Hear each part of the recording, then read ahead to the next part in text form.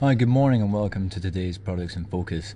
So, I'm a quick look at the US 30. Last night's FOMC didn't cause too many surprises. Um, not going to be in a rate hike in June, incidentally, but nevertheless, you can see the US 30 dip down after having two kind of doji formations the last couple of sessions on the wrong side of uh, that, that historic resistance at 18 to 84, uh, and that was the resistance level acting as broken support now, and that was from the very start of March. From a technical analysis perspective, slow stochastic right there, overbought just about across the 80% level. But also, but kind of overbought just now. It's not yet given the signal to sell, but you're seeing also the the histogram is beginning to flatten out there, so you can get an idea that there might just be a little bit of selling pressure today, albeit we are, are already off the session lows already this morning. If we do see a continued push uh, lower 18,112 as the next potential support. Looking at the market calendar for a quick second, uh, Chinese data came out worse than expected. That's actually caused a lot of Asian markets to uh, move a little bit higher in Hong Kong and uh, Shenzhen. And uh, what you're actually seeing there is that is all to do about it's uh, more calls for stimulus in those countries. So again, bad news is good news, etc., etc. Um, looking at the UK 100, grinding higher, long legged candles again.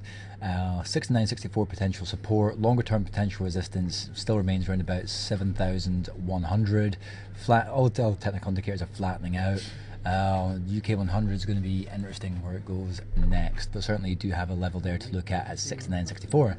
So Japan, um, it had a great session yesterday, didn't fall through today as of yet. Still early doors though. Longer term potential resistance 20,868, potential support 20,087. Technicals still show room for for maneuver, and perhaps things are just getting going over in Japan. Uh, the economy doing okay, stocks undervalued.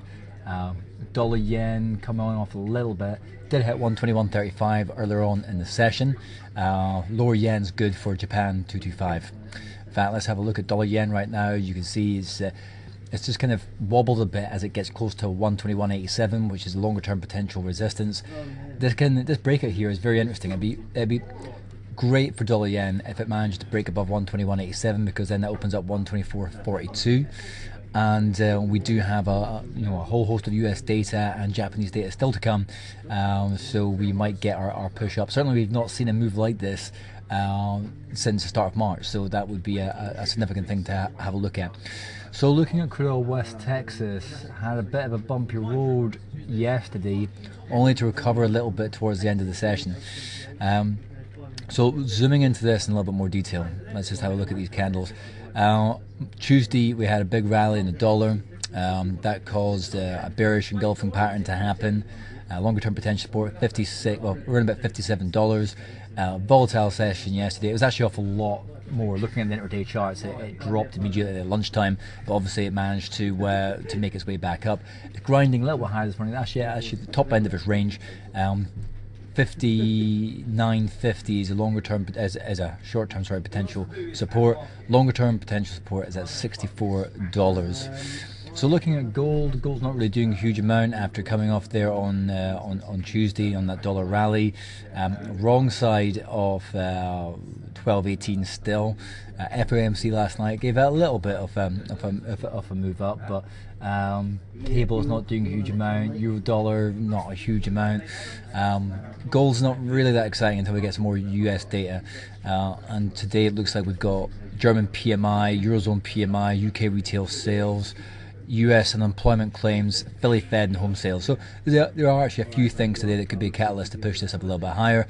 And we move on to Friday, the 22nd. You've got German GDP, lots of euro dollar stuff here. Um, PMI for for market um, IFO Business Sentiment Survey, you've got more UK pub, public finance data, and then CPI, so inflationary data coming out of the US. This could actually be quite uh, an, an, important figure there tomorrow. So you've got a fair amount of uh, market data today, a fair amount tomorrow, so there's still lots of opportunity on the table. So let's have a look at the euro dollar. Uh, 111 is a potential support. It's bounced off it this morning. We had a slight dip below it yesterday, but we closed bang on that line. Longer term potential uh, resistance, one spot 1642. The pressure is on the euro right now because of Greece. A deal probably will be made in time, but uh, as ever, people are just a little bit nervous that there's just so much to do. They've got until the 5th of June before they get that 1.5 billion um, dollar or euro, I, I forget, but big repayment they've got to make, uh, and people aren't confident that they're going to have enough money to do so. So uh, do bear that in mind.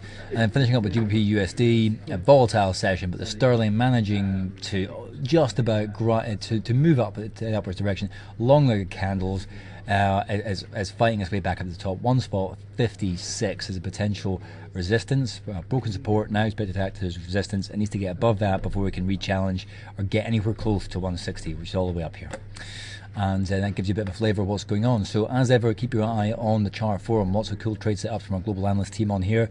Number of clients on here posting some uh, some setups too, and uh, make sure you make insights part of your layout. Um, news as it happens direct from our global analyst team, and join me again tomorrow to find out what happened next.